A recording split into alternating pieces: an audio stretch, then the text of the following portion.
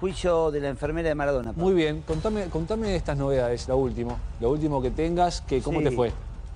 A mí en este juicio me va siempre bien, lo que le va mal es a la fiscalía y a la querella. no se ponen de acuerdo, la fiscalía no presentó la teoría del caso. No pudimos hacer acuerdos probatorios con la fiscalía. Lo puedes hacer acá con nosotros, Con pero no con la ustedes, fiscalía. sí. ¿Te das ¿No cuenta? ¿No anda Eh, circulando un acuerdo probatorio, Fito? Es el de Baudry y quien te habla. Ah, ok, ok, ok. Eh, ¿Y en qué consiste este acuerdo que está circulando, el que por lo menos estás planteando vos con Baudry? eh, al cual se empezaron a adherir el resto de las querellas.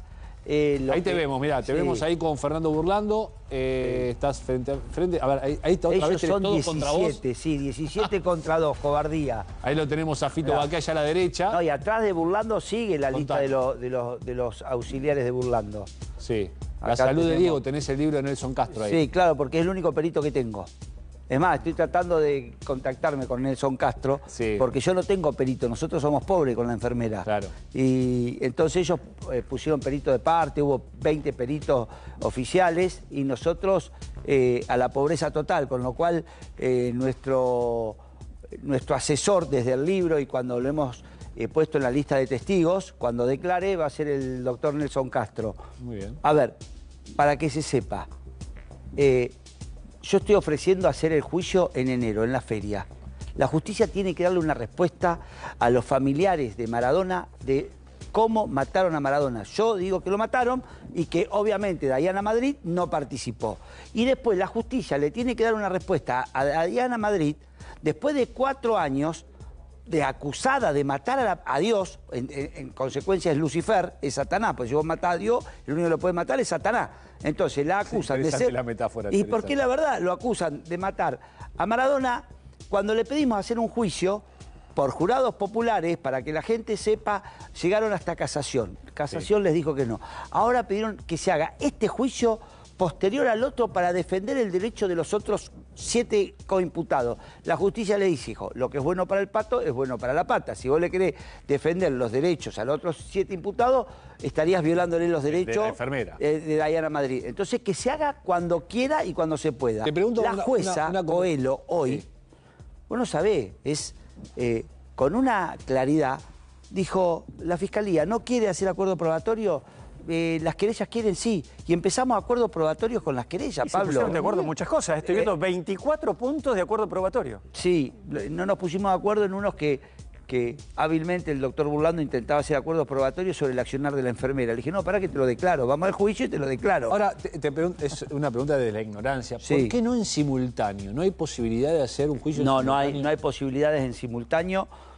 Yo creo que es la primera vez, y no van a pasar muchas veces de esta, Pablo, que se separe así el juicio, eh, porque es una pelea que la, la constitucionalidad, porque la ley de la provincia de Buenos Aires dice que si uno elige jueces técnicos, todos tienen que ir a jueces técnicos. Y acá el problema es que uno elige, eh, elige jueces por jurado. Y planteamos la inconstitucionalidad. Este abogado, este papa frita, planteó la inconstitucionalidad y lo ganó. Yo creo que en el futuro van a decir, cuando uno elija jueces populares, que es Todo la regla, arrastra todo. va a arrastrar al revés. Eh, entonces, no se puede hacer porque, por ejemplo, el otro juicio no tiene acuerdos probatorios, Pablo. Por eso te dije, nosotros vamos a empezar a hablar teoría del caso, alegato de apertura, alegato de clausura, teoría del caso, eh, acuerdos probatorios. Entonces, eso es del juicio por jurado popular. Entonces, yo acuerdo que Maradona, por ejemplo, estuvo internado en Ipensa el 2 de noviembre.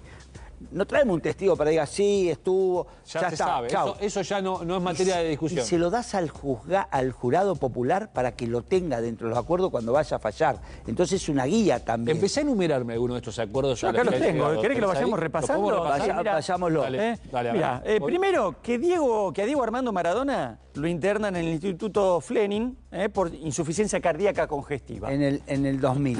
Pará, Eso- quiero aclarar O que sea, yo ese atrás. Que yo ese papel a Bobby no se lo di. No, no, no. Pará, No. con lo cual tengo que resaltar la, la- la agilidad periodística de Bobby. Que ni me salude con él. no, No, Recién al aire sin saludar, Yo mi papel lo dejé en el estudio. Y, y- Así que viene bueno, el doctor Baudry. Bueno, pues viene el doctor Baudry y te cuento Bobby. Bueno. Escúchame, vamos viendo los principales. Sí. En el año 2004 a Diego Maradona fue intervenido por la justicia civil por ser peligroso para sí mismo y para terceros. Claro, porque estuvo eh, de- declarado incapaz. ¿Por qué? ¿Por qué son estos acuerdos? Porque a mí, ¿qué me sirve para probar? Que Maradona tenía un problema del corazón del año 2000, ¿Qué tiene que ver Dayana Madrid que lo conoció el 13 de noviembre del 2020 y lo vio una sola vez con vida en su vida a Maradona? Entonces, si viene arrastrando y los médicos no le daban, porque ¿con qué probamos con esto? Un problema cardíaco y una consecuencia que no le daban La medicación que necesitaba. para un paciente con antecedentes ese tipo de cardíacos. antecedentes. Eso es lo que te prueba. Bueno, pero ya del 2, si ver. hablamos de esto, salto al 18, para que Diego Armando Maradona no estaba recibiendo tratamiento alguno para sus patologías cardíacas. Ninguna. Es- Ninguna. Ese es el otro punto So- importantísimo, ¿no? Porque- Solo, ninguna. solo veo en el siguiente, en el 19, están de acuerdo, acuerdos probatorios que se ponen de acuerdo entre las partes, Sí. o por lo menos algunas de ellas, que solo tomaba medicación psiquiátrica, pero nada para el corazón. Nada más, ninguna. Y pará, y el, el 18 de noviembre, que esto no lo acordamos porque lo voy a probar, tenía 118 pulsaciones por minuto en reposo Maradona sin levantarse. ¿Vieron ese video donde camina despacito, lento? Ahí tenía en reposo, no caminando, 118 pulsaciones y no le daban nada, Hay- Pablo. Hay algo que no puedo entender Sí. Cuando me- nos contás esto. Digo, yo recuerdo, creo que toda la gente recuerda después del episodio de Punta del Este que se hablaba de que Maradona tenía prácticamente la mitad del corazón in- inutilizable o con alguna disfuncionalidad. Vos me decís que ningún médico de lo que estuvo dando vuelta alrededor lo medicó por una cuestión cardíaca y tú solo fueran todas las medicaciones psiquiátricas. Lo vamos a, A- a ese lo vamos punto a estamos amular a. Fantino. Para, para, para. No. No le daban nada. Lo veían que tenía una arritmia y no le daban nada. Y la eh, medicina para el tratamiento psiquiátrico, que era la quetiapina, una de las contraindicaciones es que te aumenta la frecuencia cardíaca. Es peor aún. Y O sea, voy le daban, le daban una medicación que tenía interacción negativa con su problemática eh, cardíaca. Exactamente. Y te voy a decir algo, peor aún, y está acreditado en la causa, la enfermera, que trabajó ocho días, que lo vio un solo día, le dice a la psiquiatra, ¿por qué no le damos un TikTok que se utiliza como placebo, porque es parecida, dulce de membrillo? No, no, le siguió dando la enfermera, la psiquiatra ordenándole a la enfermera que le diera, que era la única ¿Quién función. el médico Pablo. clínico? Bueno, ahí hay un problema. No había médico clínico y cuando eh, Medidom, que es la prestataria del servicio, envía un médico clínico, lo echan. Entonces, hacía de jefe de médicos tratantes Luque, Kosachov y Díaz, el psicólogo. O sea, eran como los médicos de aparte. cabecera. El- es Sí, un acuerdo. triunvirato. sí. Triunvirato de cabecera. Es un acuerdo Sí. probatorio en el punto 13 que a partir de la externación de la clínica Olivos, el doctor Leopoldo Luciano Luque y Agustina Kosachov se hacen responsables como médicos de cabecera de la internación domiciliaria. O sea- Son ellos y en esto hay acuerdo Y- con, y- con Baudry. Con. Baudry, porque Sí. sale. Maradona estuvo todos los días en terapia intensiva. Sí, en, el, en. Olivos. De ahí sale a una casa Y, y pará, sin nada, pero sale una locura. con- sin consentimiento de- de- de, del de la empresa, de la empresa, De la empresa de, de la clínica. de, de la clínica y Luque y Kosachov se hacen responsables en esa externación a una internación domiciliaria que lo único que tenía de internación domiciliaria era un baño de plástico eh, tipo de los de los pescadores.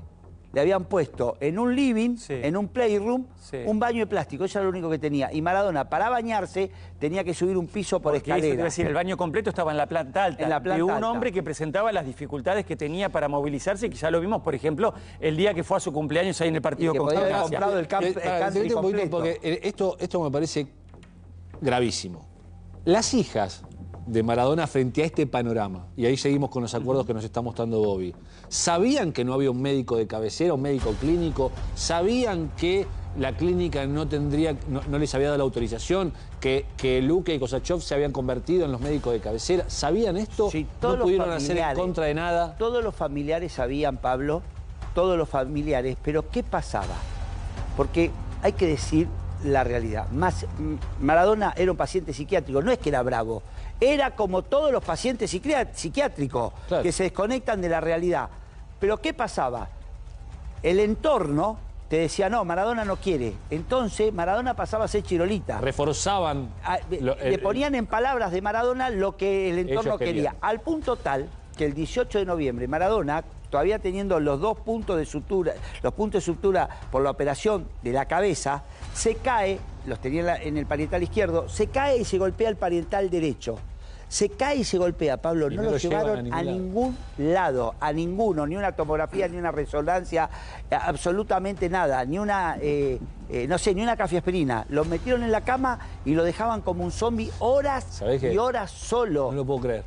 O sea, Pablo, lo creo, lo creo, pero es estaría vivo con cariño.